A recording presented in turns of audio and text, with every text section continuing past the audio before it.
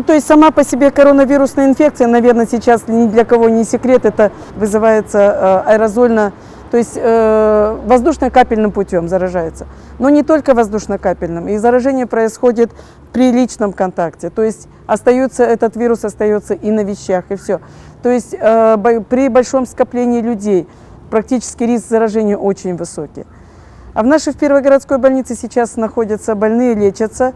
То есть это 145 коек приказом управления, сегодня 100, на, на 160 коек развернуто. На утро у нас было 151 больной. То есть практически на тот момент, пока еще не было приказа о разворачивании 160 коек, практически ни одного свободного места не было. И это больные все практически были больные средней степени тяжести и тяжелые. Особо тяжелые, крайне тяжелые – это 9 больных, которые находятся в реанимационном отделении. Те больные, которые нуждаются в э, интенсивной вентиляции легких.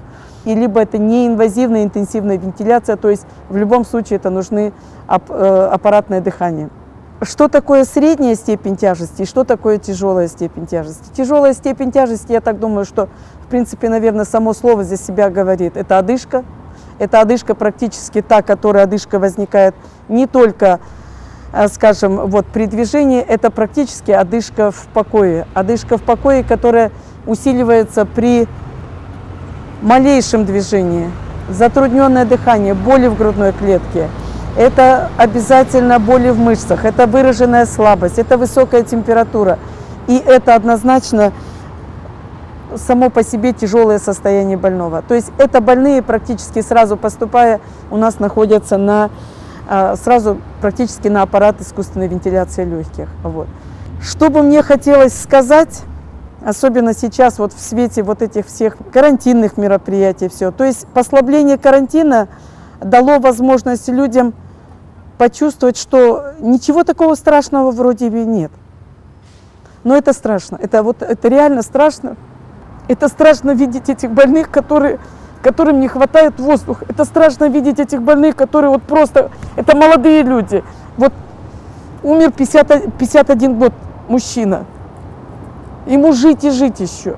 Но вы понимаете, дело в том, что непонятно, где он, каким образом он заразился. Но это страшно, когда этот человек умирает от отсутствия воздуха. Просто-напросто. Легкие в, в таком состоянии, они поражены настолько не сами легкие, а поражаются вот эти микро, микротромбы, все то, что вызывает ухудшение состояния дыхательной функции. Я 38 лет работаю, я никогда такого не видела, такого ужаса. Тактика лечения однозначно это кислородотерапия, это антикоагулянты, это антиретровирусная терапия. Мы работали по Э, клиническому протоколу 9 версия, сейчас у нас 10 версия. И основное то, что там сейчас, э, это, это антикоагулянты, антигипоксанты, и это обязательно антиретровирусная терапия. Но противовирусная терапия, ну, многие люди, понимая, что очень довольно сложные препараты, довольно много осложнений, но они очень помогают в работе. Поэтому начинается, вот, начинается с того, что мы начинаем отказываться. Мы объясняем, причем объясняем популярно, практически чуть ли не на пальцах объясняем, но не всегда бывает такой момент, что люди соглашаются. Мы время упускаем тем самым. И самое важное, что сейчас вот в лечении, ранее начатое лечение. Потому что чем больше мы запускаем, а, пропускаем времени, чем мы больше тянем, занимаемся самолечением, тем мы ухудшаем и свое состояние, и наше состояние, когда мы не, мы не можем ничем помочь. Это очень страшно, когда не, ты не знаешь, чем помочь человеку. Ты вроде сделал все, но не всегда получается помочь. Есть такие моменты. Во-первых, меняется ситуация, во-вторых, все-таки опыт, я еще раз говорю опыт, и просто-напросто не просто опыт, а еще есть же э, протоколы, которые утверждены Всемирной организацией здравоохранения, российские протоколы, те же э, опыт лечения больных э, коронавирусной инфекцией в Китае. То есть мы, мы тоже это в этих протоколах учтено, и поэтому на основании вот этих всех данных э, обновляются протоколы. Вы знаете как? Э, во-первых, доказательная база этих препаратов должна быть. Во-вторых, я еще раз оговорюсь о том, что у нас есть протоколы диагностики и лечения. Разработаны не просто людьми, а людьми, которые на основании опыта и на основании э, научных данных они доказали, что эти препараты действуют, работают. Сейчас многие скупают в аптеках ингаверин, которого нету сейчас, кагацел, орбидол, но нету доказательной базы лечения, в лечении этого заболевания. Вот. Поэтому Лечение, конечно же, только согласно протоколов лечения и обязательно только под, э, под э, контролем врача, обязательно. Потому что самолечением ни в коем случае нельзя заниматься. И не тянуть время, это очень важно. Ну, бессимптомные всегда вообще было таким образом, что бессимптомные, возможно, они больше э, вызывают риск в отношении заражения, то есть они, не зная о своем заболевании, находят, идут же в те же магазины, в ту же больницу, в ту поликлинику и все. Поэтому, конечно, бессимптомные есть риск, э, риск э, больных бессимптомных. Но дело в том, что бессимптомные сейчас, по, по сути, если наблюдение идет в поликлинике правильно, наблюдаются, они тогда уже не вызывают риска. Поэтому, пожалуйста, очень прям вот, вот я не знаю, какая просьба, дистанцироваться.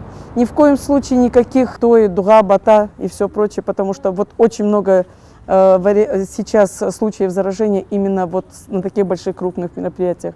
86% э, людей именно коренной национальности, которые как раз вот заразились на таких мероприятиях. Я понимаю, что есть такой вариант того, что отдать дань почтения умершему. Но мы же не знаем, кто из них здоров, а кто из них болен. И поэтому вот это заражение происходит. Очень много сейчас случаев, как раз которые произошли заражения. То есть был, допустим, э, ребенку год исполнился, все собрались, стой, очень хорошо, очень большое количество людей – но и очень большое количество заразившихся. Вы знаете, э, вот, наверное, дисциплина самих пациентов, то есть обычным человек, да, он, он очень себя хорошо ведет, они понимают. Но есть момент, когда люди, ну я не знаю, как это сказать, вот, наверное, можно сказать, высокого социального статуса люди считают, что это смешно, не может, он не должен выполнять карантинные мероприятия, он может себя вести как хочет. И бывают случаи, когда даже некрасиво ведут себя, некрасиво ведут те люди, которые даже передают им, допустим, ту же еду и все прочее. Поймите, что болезнь не выбирает высокий социальный статус, низкий, средний социальный статус. Не от этого зависит, а зависит от иммунитета человека. Поэтому очень обидно становится. Хотя основная масса людей, конечно, они с пониманием, они понимают, что очень сложно и очень тяжело. Четыре месяца мои, мои коллеги, мои работники практически не были дома. Да, мы, мы меняем бригаду, мы сейчас уже просто вот в карантин отпускаем, даем возможность хотя бы немножечко психологически передохнуть. Нужно обязательно соблюдать карантинные мероприятия. Мойте чаще руки, носите маски, меняйте их почаще, санитайзером пользуйтесь. Не просто так это говорится. Действительно, спиртосодержащие вещества, вот эти в санитайзерах, антисептики, они очень хорошо помогают, они убивают этот вирус, он не стойкий. Но самое главное, не нужно скоплений. Не нужно скоплений, не нужно вот этого большого количества людей. Осложнение вируса это однозначно, это, это пневмония. Причем пневмония двухсторонняя полисегментарный, с большими участками поражения легких, с большим процентом поражения. Это дыхательная недостаточность, это респираторный дистресс-синдром, который, который практически очень сложно выводится из этого состояния. Поэтому, поэтому просто вот это крик души, соблюдение карантинных мероприятий. А, ну, по большому счету, наша больница обеспечена сейчас полностью оборудованием. То есть вот сейчас у нас, э, как было заявлено, 10 э, койко-мест реанимационных, все реанимационные, а, реанимационное оборудование есть. Э, единственное, что да, ну, и не стоял вопрос об этом, что комп, комп, э, аппарат компьютерной диагностики, чтобы он ставился у нас. То есть мы больница была обычная, терапевтического профиля больница, развернули сейчас таким образом. Но в любом случае, согласно приказу управления по договору соисполнения у нас мы э, проводим КТ-диагностику в третьей городской, в онкодиспансере, поэтому в принципе, в этом плане у нас вопросы все решены. Медикаментозно, да, медикаментозно был момент, когда вот сейчас, когда большой поток больных тяжелых пошел, немножечко, чуть-чуть небольшой, но может день-два был перерыв, и то был перерыв э, в поставке. Сейчас все лекарства поставлены, все лекарства у нас есть, антиретровирусная терапия есть, все. Единственная, конечно, очень серьезная проблема – это средства индивидуальной защиты. Да, мы очень большое количество их закупили, очень большое количество нам помогли государственно-частное партнерство предприятия ЕСИЛь Диагностик. Э, Палата предпринимателей нам помогала в этом плане в приобретении.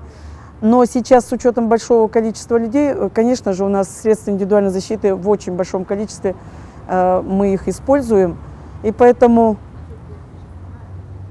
вот именно этот момент у нас чуть-чуть, скажем, дает нам заминочку. Но в любом случае сейчас мы используем не только одноразовые, но и многоразовые, потому что раз много, одноразовые – это одноразовое пользование СИЗы. Поэтому мы их просто-напросто утилизируем, а уже используем многоразовые. Но сейчас мы поставку заказали поставку 2000 одноразовых костюмов, которые, я так думаю, что в ближайшем будущем, вот буквально неделя, может быть, и они нам поставятся, потому что э, все компании, которые, э, где мы заказываем, они же, конечно, нам идут навстречу и стараются быстрее это все нам поставить. Конечно же, иммунитет вырабатывается у этих больных, однозначно. Мы же, если мы тех больных, которых выписываем, как скажем, с выздоровлением, с улучшением, однозначно иммунитет вырабатывается. И риск повторного заражения, он, конечно же, отсутствует. Но, по крайней мере, не сильно, не сильно э, стабильный иммунитет, но, по крайней мере, э, в течение полугода-года, я думаю, что у них иммунитет однозначно вырабатывается. То есть повторного поступления больных не было. Но э, в любом случае любая пневмония, она всегда в течение полугода восстанавливаются легкие. В данной ситуации идет, проход, происходит именно межуточная ткань, то есть не сама легочная клетка страдает, а страдает межуточная ткань. То есть э, между клетками вот там происходит ухудшение состояния, поэтому и это называется интерстициальное заболевание, то есть интерстиция страдает. А вот, поэтому, конечно же, там, там больше, вот до полугода они восстанавливаются. Поэтому мы, когда при выписке, рекомендуем обязательно этим больным делать контроль КТ через месяц, потому что контрольно нет смысла делать, потому как изменения эти сохраняются еще долго. После выписки мы всем рекомендуем больным обязательно э, это должно быть полноценное питание, это здоровый образ жизни, это же, конечно же, дыхательная гимнастика, и это обязательно прием аскорбинки, аскорбинка, то есть наша банальная аскорбинка. Ну и с учетом того, что сейчас мы больных выписываем э, не совсем с полным выздоровлением, а с улучшением, и выписываем больных, которые э, идут на домашний карантин. Поэтому по последнему протоколу мы рекомендуем дексаметазон. Ну, то есть это по протоколу.